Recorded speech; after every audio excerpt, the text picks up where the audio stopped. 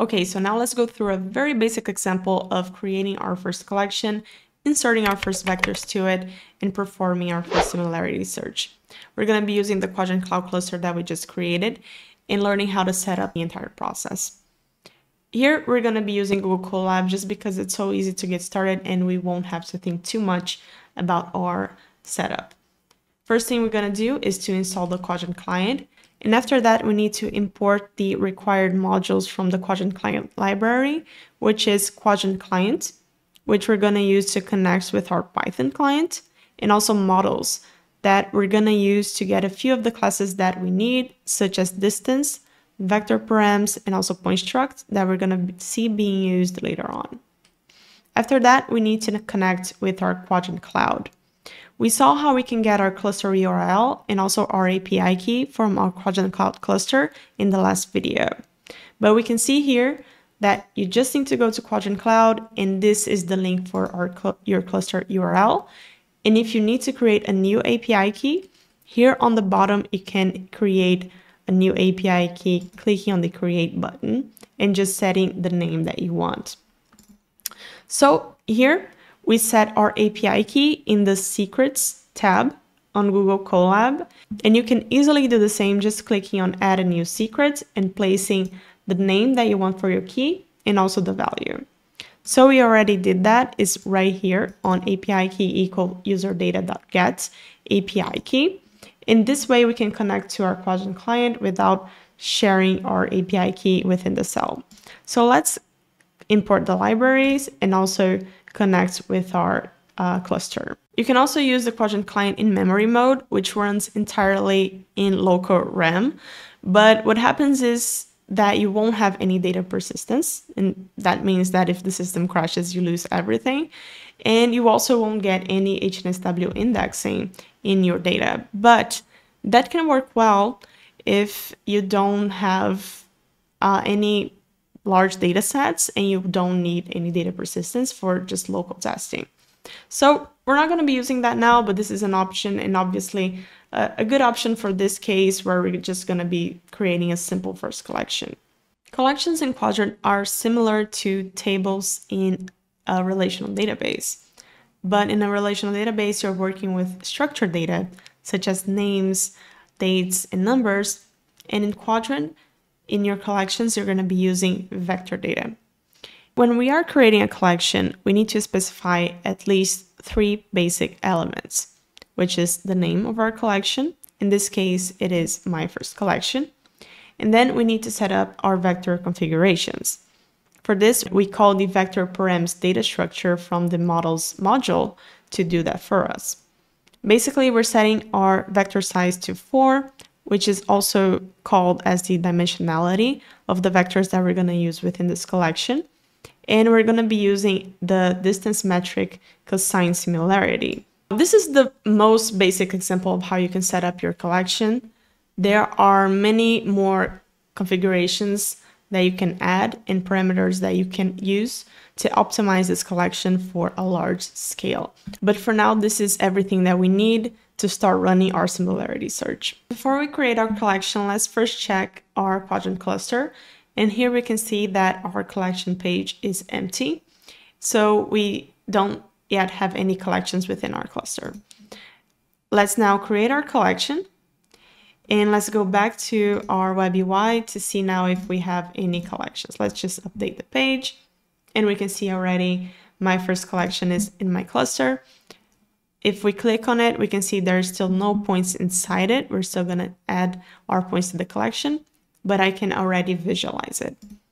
Um, if we go back here, we can also do that within the code with the client.getCollections method. And that will show us that we have uh, one collection with my cluster, which is my first collection. That's awesome.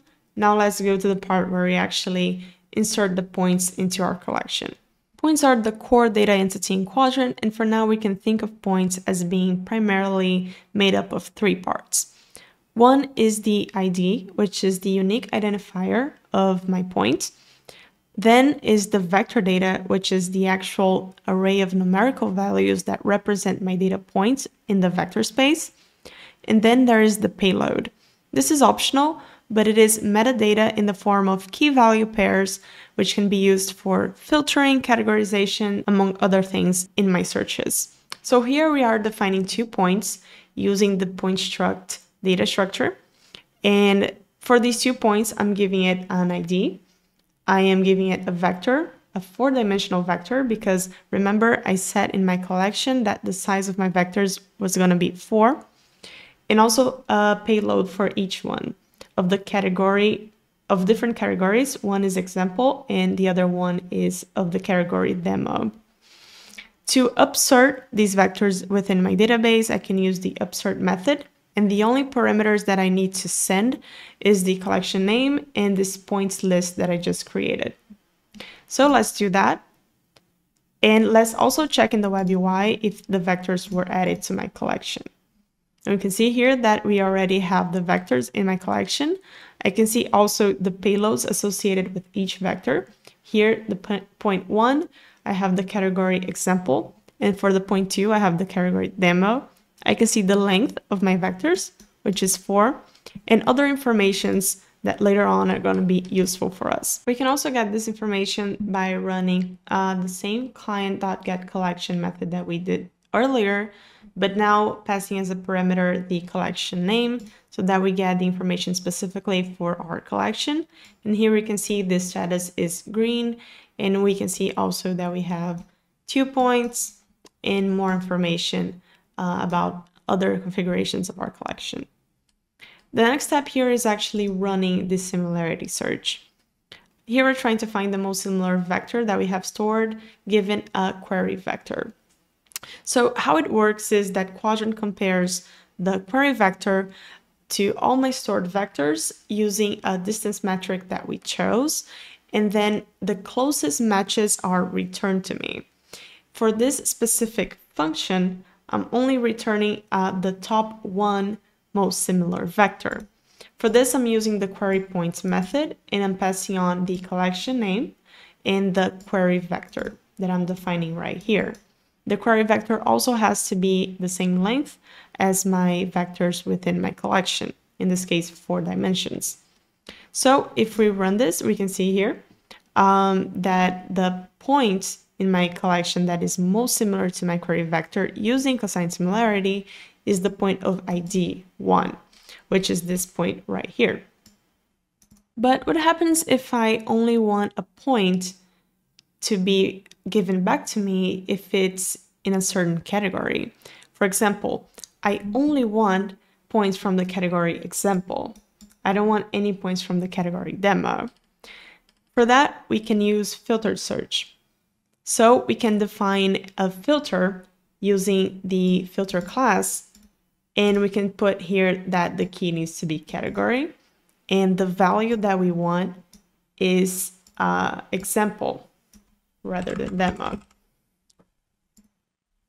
And for this, we can use the same uh, class query points, but right now we're passing, besides our collection name and query vector, also the query filter which is the search filter that we just defined right here. So if we run that, we can see that the most similar points to our query vector that matches example is the uh, ID one, which is indeed the only one that we have.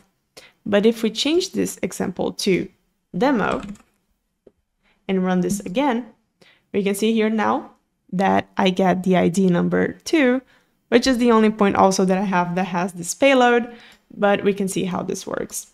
And if I search this to something else, for example, test, and run this, I don't have any points with the payload test, so I don't get any results back. And this is a very interesting way in which you can start experimenting with vector search. To wrap up day zero, your task is to set up your Qdrant Cloud account, create your first project, and run your first similarity searches in Qdrant. Tomorrow in day one, we're going to get into embedding models and how they work, HNSW indexing, and learning more about Qdrant configurations for your collections that can improve search performance. See you in day one.